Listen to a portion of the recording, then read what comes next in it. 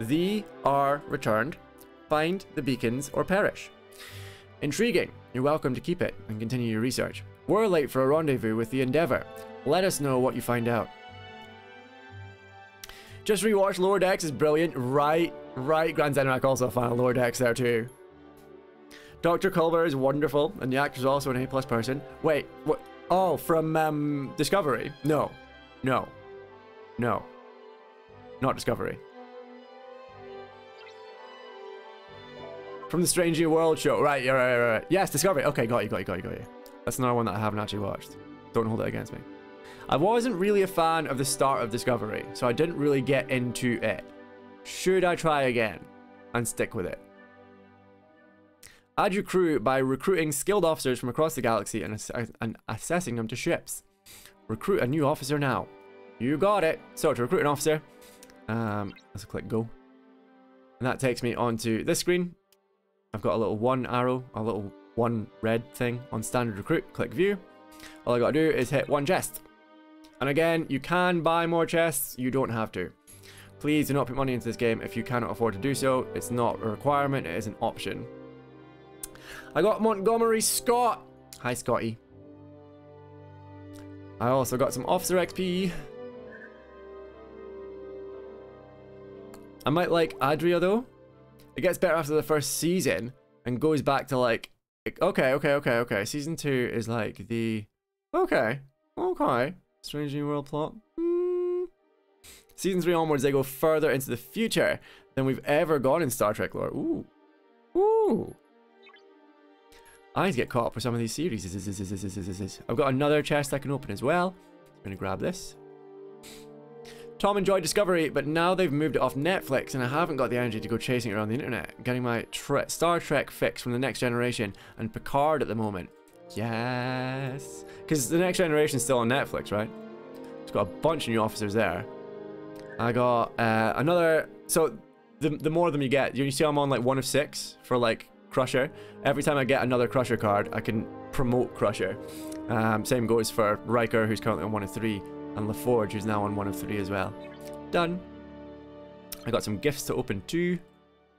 There's like a 10 minute chest that you get every 10 minutes. Gives you a few items. 25 dilithium. And a 24 hour chest. And 4 hour chest. Just to keep your items topped up a bit. Don't worry about the 7 day loyalty chest. They cost monies. You gotta put uh, monies in to get these loyalty badges. Unless you get them... Hold on. Found in daily daily goal rewards. Used to redeem loyalty chests in the gift section. Okay, so you can get these just from playing along um, from the daily goal awards. Helen, you won that race. Good job. I'm gonna set up the next one on Cloud Chase. There you go. Next race is set up for Nitro Stream Racing. It is Season 1 Riker. It is. He's, he's beardless. At least this Riker is. There are different versions of all the officers. So like from like different series and stuff. So you've got like Badgey from Lower Decks, which I absolutely adore. I've got no idea how you get him. but there is the Badgey does exist in here. And one of his one of his one of his abilities is we murder. Ha, you're gonna die. Unfit to lead. This officer does not have a captain's maneuver. Equipping this officer as the captain of a ship provides no benefit. Badgey does not make a good captain. But you've got like Borg officers. You've got you've got so many, so many different officers available in here, and I love that they've got lower decks ones in here as well. Ferengi. There's William T. Riker, the one we know and love with the beard. Hope we get more cards. He gets the beards and upgrades. So so bearded Riker, the next generation crew Riker, um, is an epic unlock. So he's he's you can get him but he's quite hard to get. He's quite rare.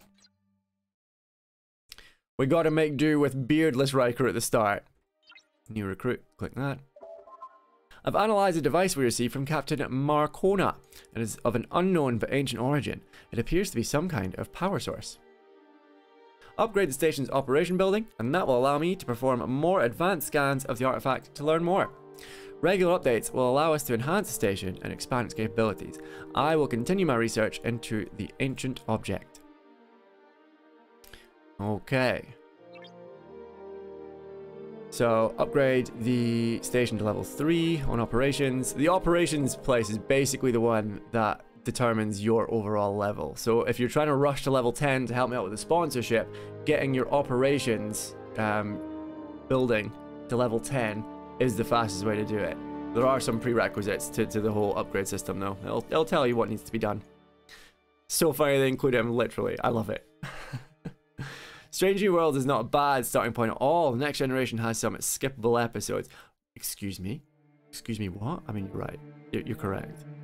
Keep Badgey away from Rudicor and they'll both be unstoppable. Excellent suggestion, Grand Zenarak. Captain Hat, hi!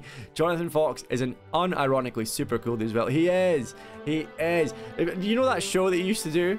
Like back in the 90s that was all about like myths and stuff?